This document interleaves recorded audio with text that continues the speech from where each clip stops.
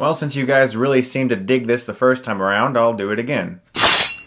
I don't know why, this just feels right. They're butter knives, by the way.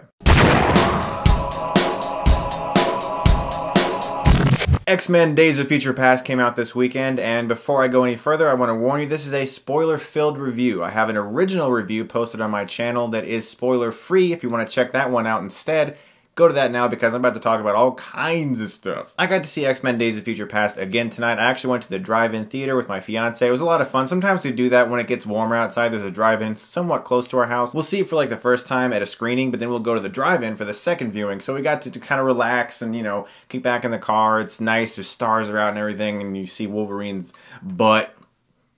Yeah, that's a big spoiler. At least it was for my fiance anyway, because she certainly enjoyed that scene. Damn, Hugh Jackman. So you guys know that I really love this movie, and I loved it because not only did it have really awesome action sequences, but it had such a good emotional core to it, in which all of the major characters were affected by this one central story. And one of the things I actually really liked about the movie, and that surprised me at first, was Wolverine wasn't really like ultimate hardcore badass dude in this movie. He had to work against the grain. He had to have peaceful thoughts as he continues to try to tell himself during the first act of this movie because he was the person in this movie that had to bring all these people together and he couldn't do that with his claws. He had to use his brain, he had to use his heart. And that was a really cool thing to see because you got to see a different side of Wolverine, a more experienced more used to the grind Wolverine who just wants to help. And that was a really cool way to view his character because we got to see the really cool berserk badass Wolverine in the Wolverine that came out last year. So it's cool to see a much more mellow, reserved version. And yes, I did enjoy that scene in the beginning where he tears apart those guys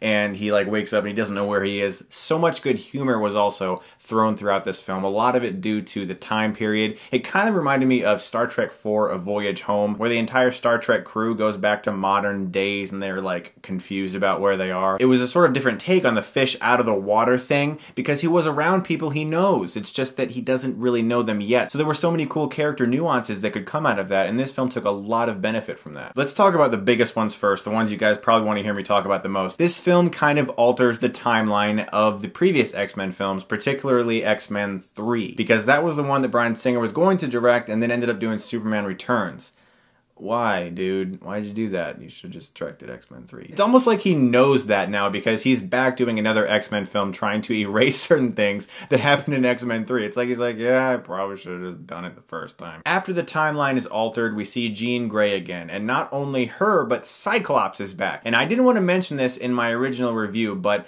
rarely ever do I scream or shout or say anything really during a film.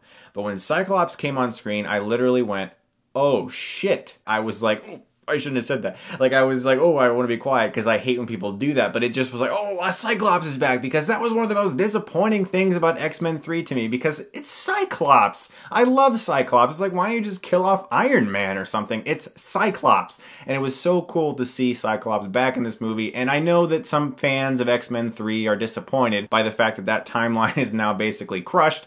But you know what? I like it. Cyclops is back. One of my favorite scenes in this film is the scene in which Magneto finally decides, you know what, I'm not going to have any more of this. The younger version, Michael Fassbender's version, and he decides to ambush everyone and sabotage everyone by using his powers to shoot a bullet through the air into Mystique. And then you get like these really great inserts of 1970s cameras capturing it, and you're like, you, you like feel the horror of it almost as if you are there, and like that's what you would see on the news or whatever of that event. I thought that whole scene was very intense, the way it all played along. And there was a moment where Logan lost his his memory where I was like, wait, are they really going to do this memory loss thing? That usually doesn't work. And gratefully, it was just for that one scene. One of the things I loved about this movie was how it gave you an opportunity to see a lot of character deaths that you were like, oh, Storm's dying, and Bishop, and Iceman, and everyone, they're all just dying. What's going on? Colossus got ripped in half. It was like when the dinosaurs in Lost World tore that guy in two. But because of the altered timeline thing, they were able to take advantage of those dramatic scenes scenes and then have them actually be back at the end. So it was kind of cool. It was like they were able to see what it would be like if all these characters did die, but then you had that moment where Wolverine's just walking around seeing everyone and you're like, okay, it's all back to normal. And you can definitely tell that Bryan Singer made this film thinking like, okay, look, my films that I made, those X-Men films, those are my films. And someone came along and did stuff. I don't like that. I'm going to revert it to the way I had it.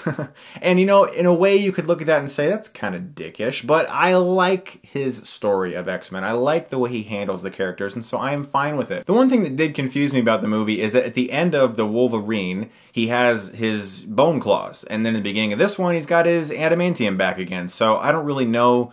I'm assuming that they just kind of had to deal with that inconsistency because they were filming the films pretty close back to back. So I don't really know about that one there. That's a little confusing to me. One of the biggest questions of this movie, and obviously it's not the kind of question that can be answered immediately because it ends on a cliffhanger where Mystique is impersonating Stryker. Now, if you know anything about the other films, Stryker is the person who got Wolverine his adamantium all throughout his body. If Mystique is impersonating him, what? Like, that's just brain explosion. I don't even know what that means, so we're gonna have to see. The end credit scene features a very small Apocalypse. Now, I'm gonna be honest here, don't know much about the character of Apocalypse. I do, however, know that he's gigantic.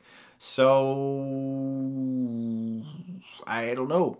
I actually, I, it was just nice to have an actual end credit scene after The Amazing Spider-Man 2 just had like a promotional spot for the X-Men Days of Future Past. It was cool to actually have an end credit scene that mattered. Jennifer Lawrence in this movie as Mystique just blew my mind. I mean, I enjoyed her in First Class. She was good, but she just didn't have the flair and the intensity that Rebecca Romijn Stamos had for the action element of Mystique. She was good as Mystique. She captured the emotion and like the fear of that character, but she wasn't as cool, I guess. In this film, she was awesome, but she also retained that emotion. And I gotta say, the, the, scene where she's like, she's got the guy trapped against the wall and she's just standing there with her leg on him, I was just that was an enjoyable scene for me. The interplay between James McAvoy and Michael Fassbender in this movie is fantastic. The scene on the plane where they just have that argument where you can actually understand both sides. Like, it's one of those really great ways that you can actually relate to a villain. The best villains in film are the ones you are like, you know what, I actually understand where he's coming from. Like the Joker in The Dark Knight makes sense. Everything he says makes sense. Darth Vader in the original Star Wars films, you understand